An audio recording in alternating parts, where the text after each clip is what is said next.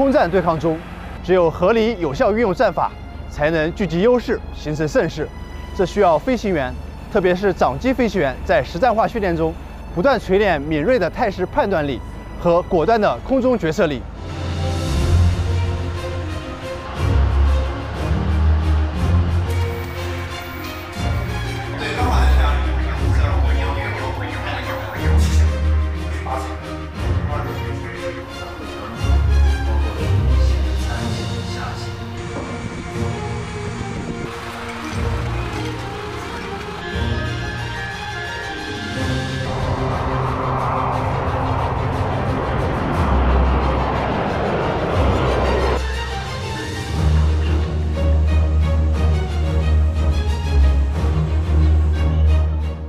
连续组织跨昼夜飞行，让飞行员在高强度、多样式的对抗中摔打锤炼，